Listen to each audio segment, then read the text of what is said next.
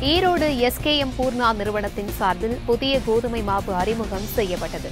SKM animal feeds and foods என்ற தனியார் நிறுவனம் கடந்த நாற்பத்தி இரண்டு ஆண்டுகளாக தென்னிந்தியாவில் கால்நடைகள் மற்றும் கோழி தீவனங்களை தயாரித்து வருகிறது.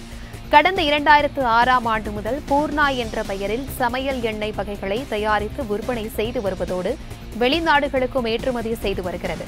இதனிடையே இந்நிறுவனத்தின் நிர்வாக இயக்குநர் சந்திரசேகர் இயக்குநர் ஷியாமலா ஷர்மிளா மற்றும் செயல் இயக்குநர் பிரதீப் கிருஷ்ணா ஆகியோர் முன்னிலையில் பூர்ணா கோதுமை மாவு அறிமுகப்படுத்தப்பட்டது.